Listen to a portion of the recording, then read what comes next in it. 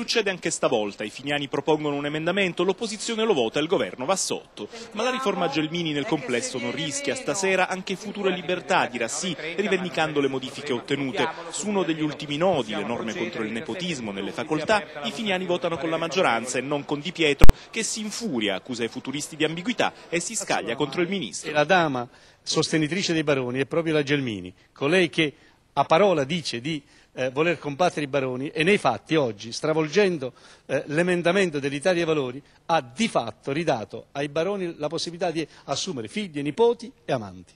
Giornata campale quella di oggi per la maggioranza. Berlusconi in mattinata sollecita l'applauso del Consiglio dei Ministri per Maria Stella Gelmini. Sacconi invita i manifestanti ad andare a studiare. La riforma, dicono PDL e Lega, è giusta e innovativa.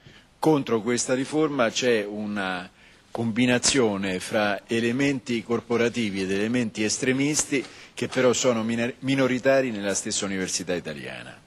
Partito Democratico e Italia dei Valori confermano il loro no e accusano Maroni di aver alzato la tensione blindando il centro di Roma. Voterà no anche l'Udc che parla di riforma senza risorse. Si promette un miliardo per il 2011, dice Nichi Vendola, mentre ancora non sono arrivati i fondi per il 2010. Una maggioranza che a tempo scaduto vuole imporre una riforma fatta solo di tagli al Parlamento sbaglia e continua a sbagliare e troverà la nostra ferma posizione qui e nel seguito dei lavori parlamentari.